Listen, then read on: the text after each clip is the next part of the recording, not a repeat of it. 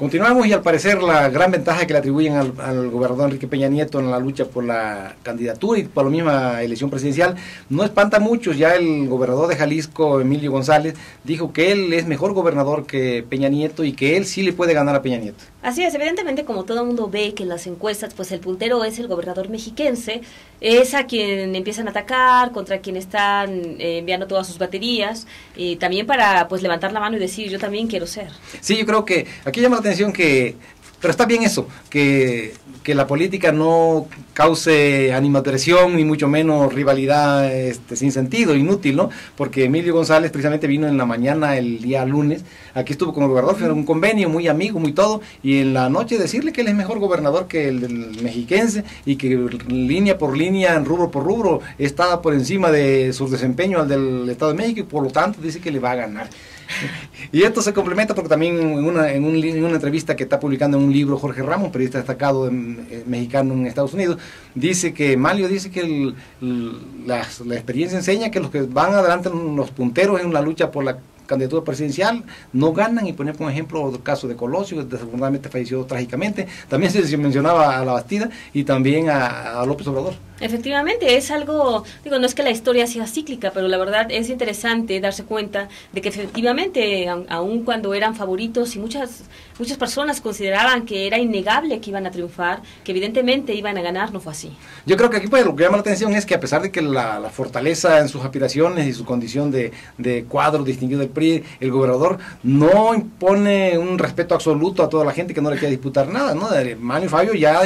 ya da indicios de que le va a disputar la candidatura. Y el caso del de Jalisco, pues no solamente dice que, le va a disputar la candidatura, digo la presidencia, sino que se la va a ganar. Sí, evidentemente que Manuel Fabio lo que está haciendo también, pues es generar ahí las dudas para que no toda la cargada se vaya con él y que tan, porque pues evidentemente él tiene gente que lo sigue, ¿no? Y decir, no, no es cierto, esto no está definido, yo estoy aquí y puedo ser el candidato e incluso puedo ser presidente. Sí, también queremos ver el tema del, de hoy es el día hoy, hoy martes es el día del mundial de la lucha contra el tabaco, ¿no? Y es una cuestión que todavía no ha logrado pues eh, sobre todo hacer desistir a los fumadores de que dejen de que dejen, el vicio. Así es, la verdad es que aún cuando ya existe una ley federal eh, y bueno normas en entidades como el Distrito Federal, hay otras como es el Estado de México que no se tienen y a pesar de que se ha obligado a que prácticamente todos eh, los establecimientos cuenten con un área de no fumar y otra área de fumar, evidentemente pues divididas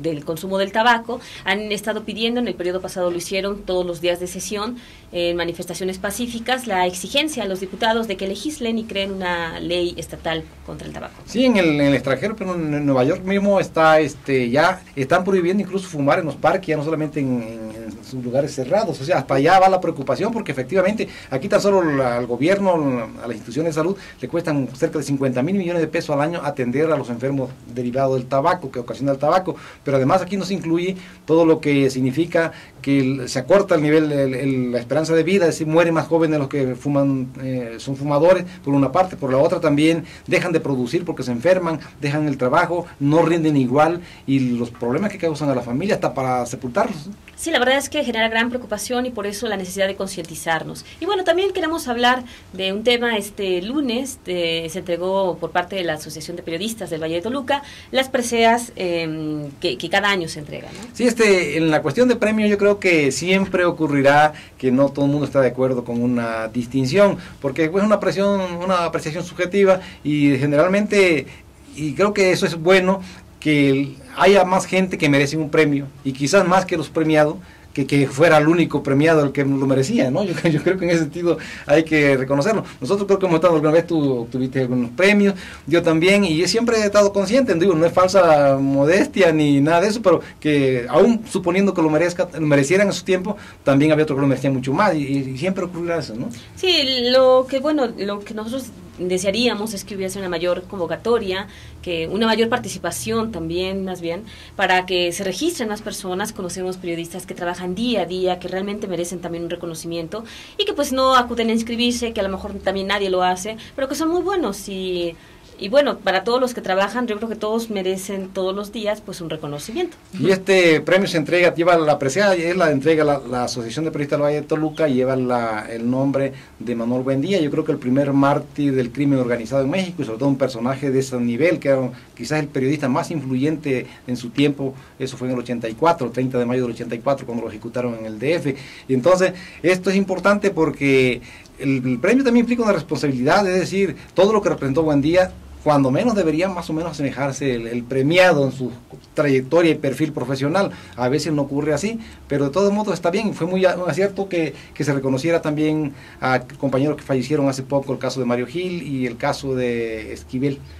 Así es, el Flaco Esquivel, que bueno, un periodista muy reconocido, eh, fotógrafo. Y bueno, mm, finalmente pues eh, felicitarlos, felicitarlos, eh, sobre todo, bueno, yo quiero felicitar a Eduardo Alonso, que me parece que es un reportero que trabaja bastante bien, que busca la nota, y en general pues a todos los que se la hayan ganado, ¿no? Sí, el caso del Lalo es reportero del Universal. Así es, y también de la Extra del Sol, trabaja, y también trabaja en radio. La verdad es que es un reportero pues que sí hace su esfuerzo, ¿no? Sí, y me parece que se merecía mucho reconocimiento. Sí, porque yo creo que los premios siempre también deben buscar que, que el primero el, premio acredita al reportero, pero después, o el premiado, sea, sea, lo que sea, y el premiado también después, por su jerarquía, debe de acreditar y prestigiar el premio. Así es, pues bueno, pues muchas felicidades a todos. Y nos vamos, eh, no, sin antes eh, invitarlo a que nos acompañe en el siguiente programa. Macari, buenas tardes. Buenas tardes, Buenas tardes. Buenas tardes. Que tengan